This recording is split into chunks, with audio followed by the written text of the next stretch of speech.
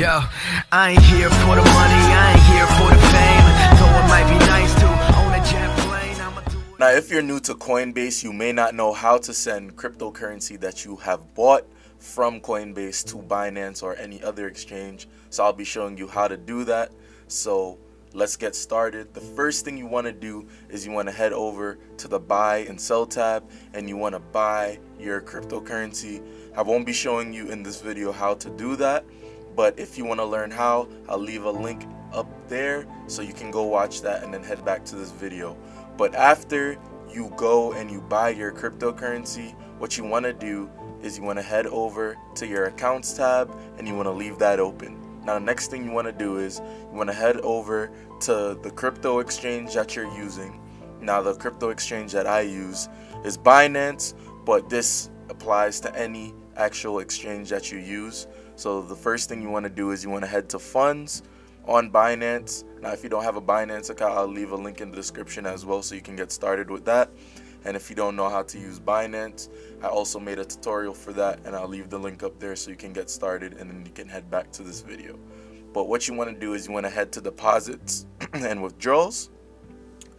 And what we have to actually do is we have to get an address to send our coins So if you're using Bitcoin, Ethereum, Litecoin and you want to send it to Binance, what you would want to do is depending on which cryptocurrency you are using, you would want to head over to the search panel and you want to type in the ticker or you can type in the name of the cryptocurrency.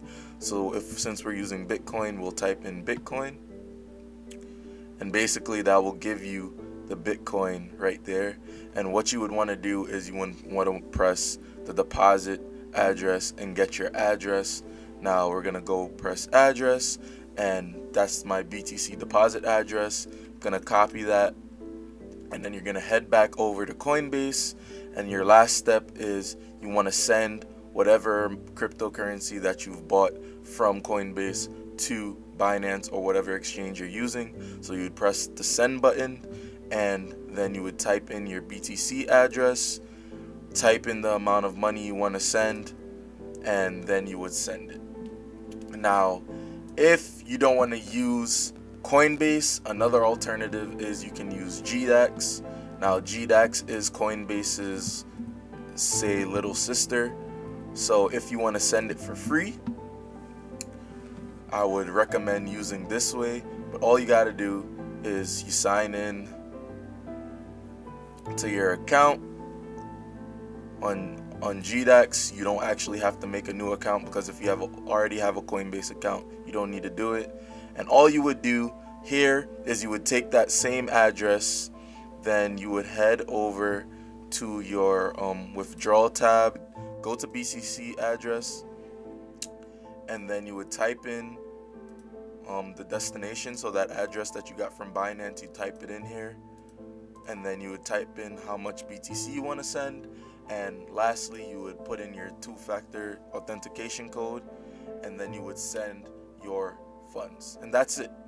Now, if you have any trouble with it, be sure to leave a comment down below. Let me know your struggles so I can get back to you and help you out. Leave a like on this video if it helped you out. See you in my next video. Peace.